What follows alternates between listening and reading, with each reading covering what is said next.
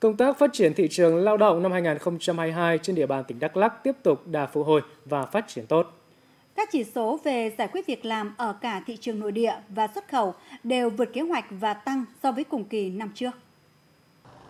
Năm 2022, toàn tỉnh Đắk Lắk đã giải quyết việc làm cho khoảng 41.250 người, bằng 103,12% so với kế hoạch và 1.472 người đã xuất cảnh đi làm việc ở nước ngoài, bằng 106% kế hoạch năm.